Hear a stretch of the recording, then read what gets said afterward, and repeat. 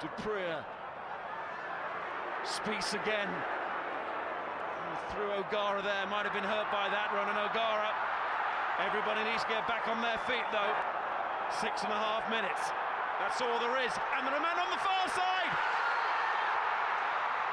It's Fourie, he's got power. Oh, has he got it down if he has? It could be a history-making finish. But this isn't good enough from the Lions. Ronan O'Gara's the man. He's been injured, he can't make the tackle. O'Gara. His bandage reflecting the injuries that the Lions have suffered in this match. Oh, it's a penalty! Why?